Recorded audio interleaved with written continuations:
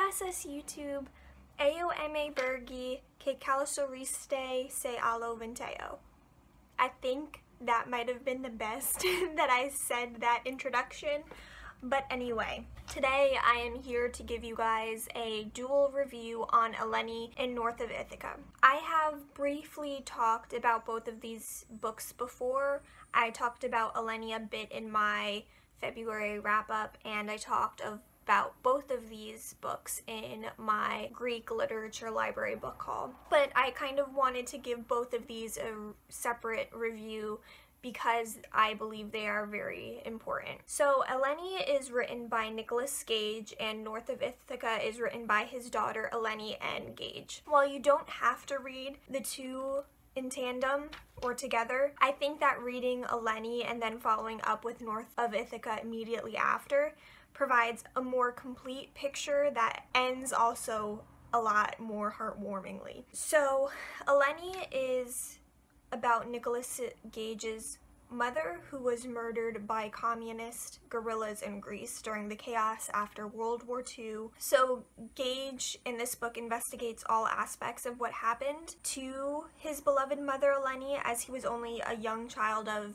8 or 9 during this time and he ponders how he will react towards all those who took part in her death. Obviously, the subject matter presented in this book is extremely difficult to read, especially because Gage does not hold back on all the atrocities that both his family has witnessed and just those described more generally that his whole village um, had to deal with. Hey guys, so I'm coming in right when I'm editing this video because I don't think I explained Eleni well enough. I basically just repeated the stuff that I had already stated in the two other videos where Eleni was mentioned. So I guess part of the reason why Nick Gage is investigating the different people who were connected to his mother's murder is because it wasn't necessarily just the guerrillas the communist guerrillas who were the cause. Yes, they were the people that actually pulled the trigger, but because of this chaos afterwards, a lot of the villagers from Lia, which is the little village that he's from, which again I did not mention in this video, and I don't know if I mentioned in any of the other videos where I talked about Eleni, the people of Lia they kind of, in order to survive, they had to kind of report about the other people, their neighbors and stuff. And because of this, these villagers, the people that uh, Eleni and her family knew growing up and loved, kind of stabbed them in the back. Um, so that's kind of a big important thing throughout the book is are the villagers who were also suffering, were they to blame for her murder as well? Um, and it's kind of interesting to see because through this we're getting a glimpse of how tragedies aren't just black and white or people aren't just fully evil. They're trying to survive too. And another aspect of this book that I found interesting is that Eleni is kind of put on a pedestal because her husband, Christos, is um, in America. So he's seen as like a bigger figure because he was able to get out of their village and to make money to send back to his family and was able to send his family toys and that kind of stuff. So they had a lot more riches, I guess, than the other families in Lia, and because of that, that also made people jealous or like, um, they had the evil eye on them because people were jealous. So it was interesting to see that that kind of aspect, on the one hand, they were asking for help from her, or she was actually just giving help because she felt bad for all of her riches. Again, it's not like a ton of riches, it's just that she was a little bit well off because her husband sent them money. Um, but on the other, they were, again, jealous of her. So it was kind of interesting to see that kind of dynamic. But hopefully with this now, you get a little bit more about Eleni because, again, I think it's a necessary book and I feel like that might entice you guys to read it um, more than what I've already said before. So the book had me sobbing, soul crushing sob, literally every time I picked it up, but I couldn't help but continue reading to respect and honor Eleni and the story her murder told. And despite these truly horrifying events recounted in this book, it is a must read because I think this is a place and time in history that we, as Americans at least, don't really learn about in our history class. And I'm I might be biased because I am of Greek heritage and I did read these two books, but I do think that it's a terrible mistake. We definitely need to learn more not even just about the Greek experience during and after World War II, but more worldwide because I feel like we only focus on the US, Germany, and the UK. And even the latter two not as much as I feel like we could. So while Eleni is difficult and emotional to read, North of Ithaka by Eleni's granddaughter of the same name is vastly easier to read and more uplifting. So 53 years after her Yaya's murder, Eleni Gage decides to take a year off from working and living in New York City to rebuild her Yaya's old house in the hope of connecting with her heritage. So she spends 10 months fixing the house, and during that time, she learns so much about her village's culture from the older generation that inhabits it. And this account really brings the narrative starting with Eleni to a satisfying closure, despite the fact that the events within Eleni are so sad, and proves that love, though it can't mask hate and fear and curses, it can show that family and friends are good time and good times are more important. So I will say that while it is impossible to judge the subject matters of these two books, I can safely say that they are both written beautifully and with passion and both books have a special place in my heart and I would recommend you read them. If you are not faint of heart of course because Eleni is so so raw in its depiction of the atrocities that happened. And of course these two books will undoubtedly stay with me forever.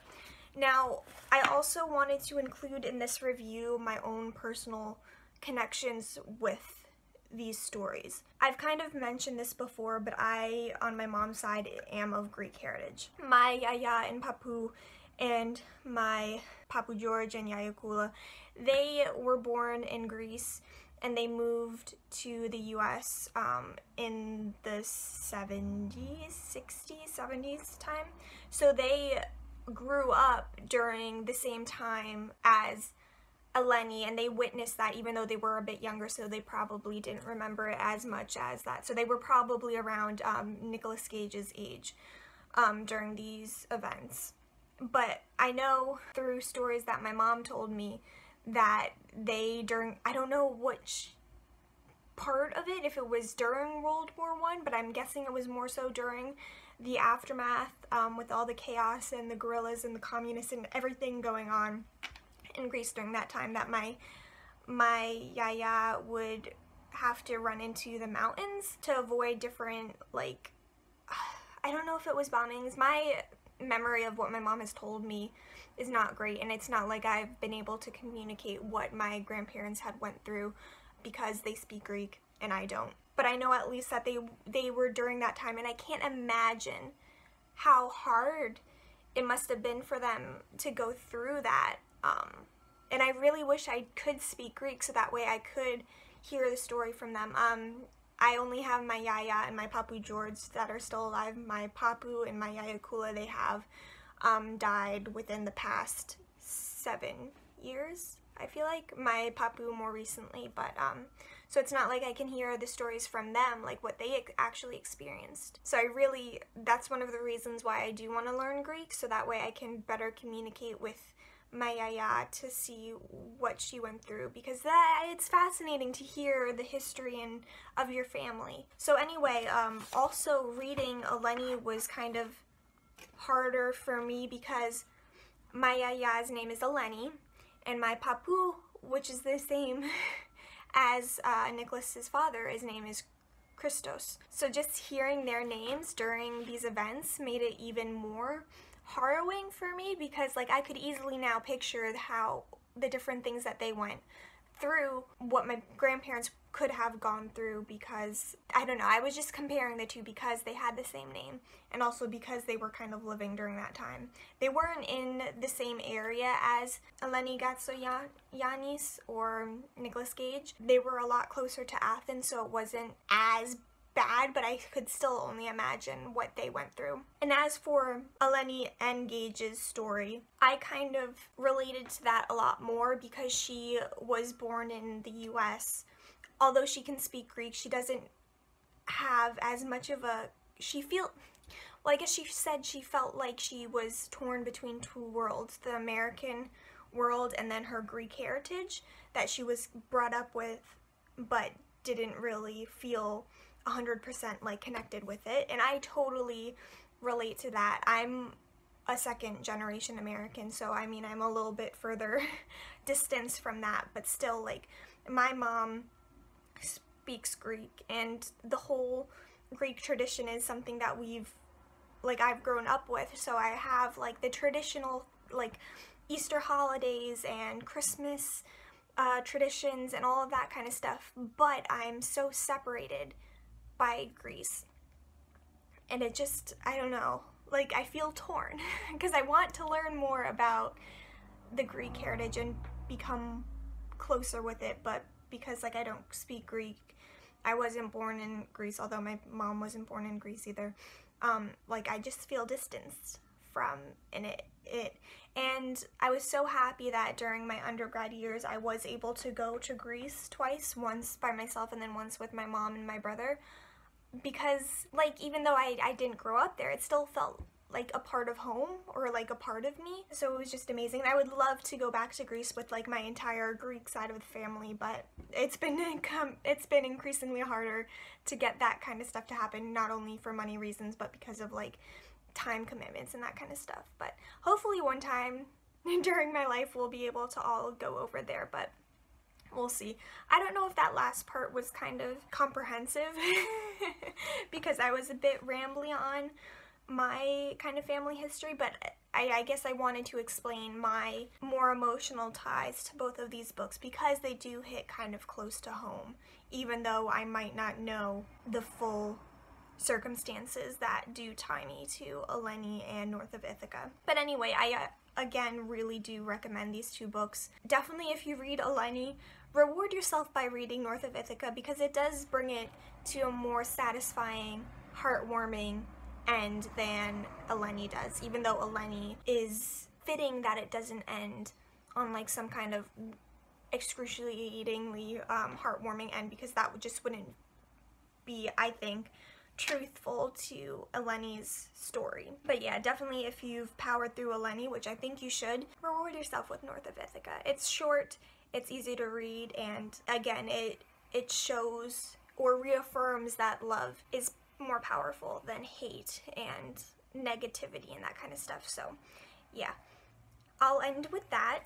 I hope you guys like this review. Let me know if you end up picking up Eleni and or North of Ithaka um, because I would love to discuss it and I know these are books that probably won't be popular because of how sad the events of Eleni are, and because of that, people probably won't pick up North of Ithaka. But I, I really hope you do. It, it, it definitely sheds light to a part of history, again, that I don't think Americans learn of enough or appreciate enough.